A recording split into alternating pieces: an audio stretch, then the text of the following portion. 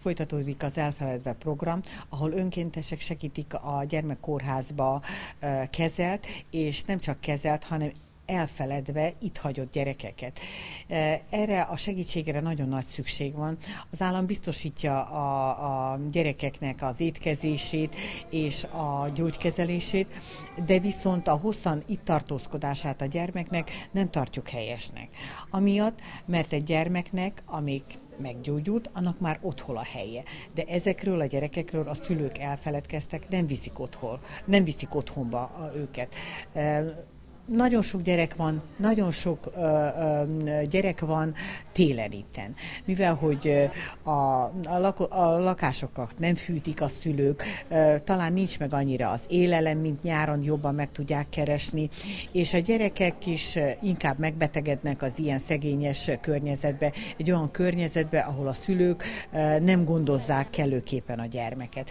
Ö, télen úgy, úgy néz ki, hogy gyakorlatilag nincsen üres szoba itten nyáron egy picit kevesebb gyerek tartózkodik a kórházba. De ezt a problémát csak egyféleképpen tudjuk megoldani. Először is együttműködés kell, hogy legyen az egészségügy és a szociális szféra között. Hogy ezek a gyerekek ne csak elfeledve legyenek, hanem legyen egy státuszuk. A szülőnek el kell dönteni, hogy ezt a gyereket vagy állami gondozásba adja, vagy örökbe adja, nem pedig egy egészségügyi ö, ö, intézménybe ö, van ez a gyerek húzamosabb ideig. A kórházaknak, hogyha az elé néznek, hogy igen, most kezdjük el a reformot, a második és a harmadik szintű egészségügyi intézményeket, ez mit fog jelenteni? Eddig egy összfinanszírozát kapott a kórház. Vagyis, hogyha csak példának mondom, van egy 150 ágyas kórház, ha csak 100 gyerek fekszik aznap, akkor is megkapja a 150 ágyasra a finanszírozást. Az új reform szerint teljesítmény alapú lesz a finanszírozás. Vagyis ahány beteg gyerek van, annyit fognak csak finanszírozni. De viszont nem fogják, már előre vetítették nekünk azt, hogy nem akarják a szociális hospitalizációt finanszírozni. Mit jelent ez? Nem akarják azokat a gyerekeknek az itt tartózkodását fizetni, aki már nem beteg, csak egyszerűen nem vitték haza. Azt mondták, hogy ezt itt helybe kell ezt megoldani. Szerintem nagyon egyszerű lenne úgy megoldani, hogy a két minisztérium összeül, és akkor eldöntik, hogy ki mit fog finanszírozni. És nem lehet mindent egy intézménynek a vállára tenni, mert a törvény az nem itt kezdődik. Mi csak teljesítjük ezeket a rendeleteket, amiket ők hoznak. Segítségre van szüksége minden egyes kórháznak, hogyha áttérünk az új finanszírozásra.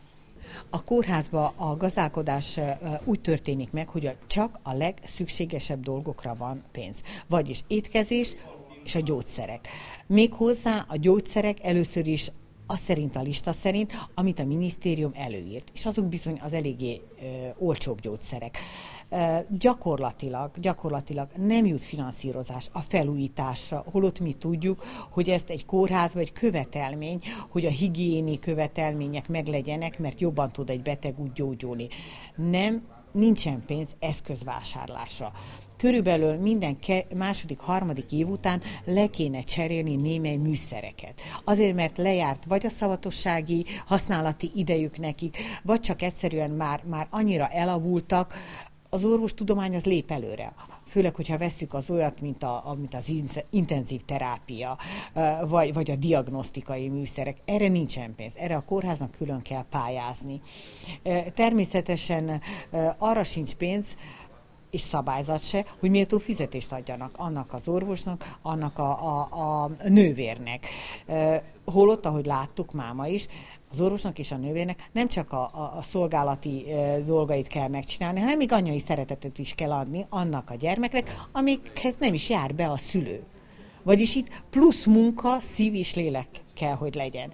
Én úgy gondolom, hogy, hogy nagyon sok hiányosságok vannak.